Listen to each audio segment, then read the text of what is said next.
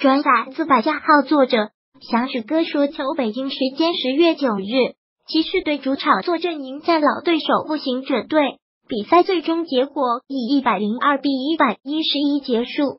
骑士队以九分的分差输给了老对手步行者队。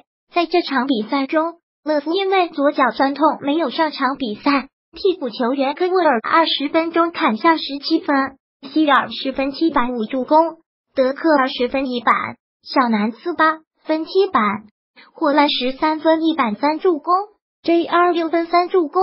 步行者队这边，奥拉迪波二十三分六板三助攻，利夫十三分六板，特纳八分九板一助攻，波格丹诺维奇六分二板。其实对这边最大的看点就是科沃尔了，在勒夫。胡德克拉克森等没有出席比赛的时候，他的十七分成了球队的最高分。在二十分钟里面，科布尔的表现能力极为出色，十投六中，其中三分球七投四中。观看这场比赛最大的感受就是科沃尔的三分真的太不讲理了，怎么投怎么有。回想起上个赛季詹姆斯和科沃尔的配合，即使两个人现在不在同一支队伍当中。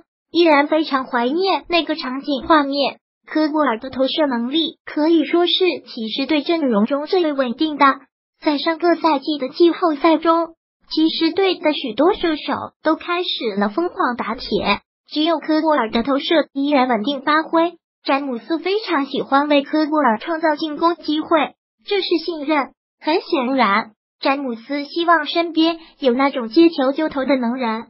只可惜现在湖人队阵容中缺少这样三分能力稳定的球员。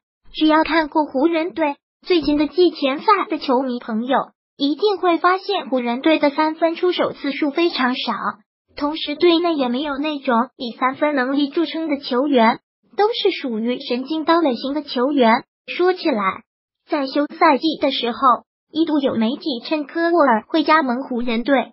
其实，如果科沃尔真的来到湖人队的话，那么洛杉矶湖人队的实力真的会提升很大一个档次。